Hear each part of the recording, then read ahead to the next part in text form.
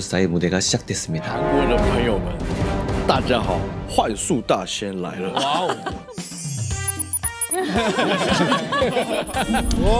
머릿결이 엄청 좋으시다.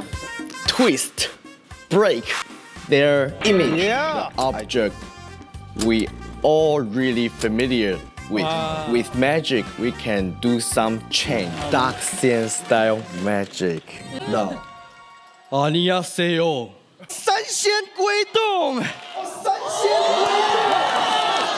세계 두리안이 모두 순간이동을 해버리는 너무 닮았다 진짜. 저는 두리안이 그렇게 신기한 과일인지 오늘 처음 알았어요.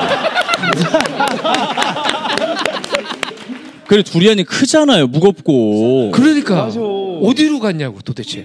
와 내가 땅바닥에 앉아서 봤는데도 이건 말이 안 돼요 닥신 씨는 딱 나는 무대에서 많은 사람들에게 웃음을 주고 싶어 즐겁게 해주고 싶어라는 그 목적이 정확하게 아주 심플하게 다가오는 것 같았습니다.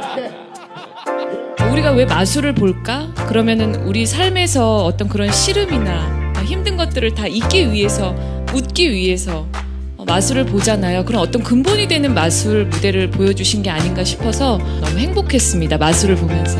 네 땡큐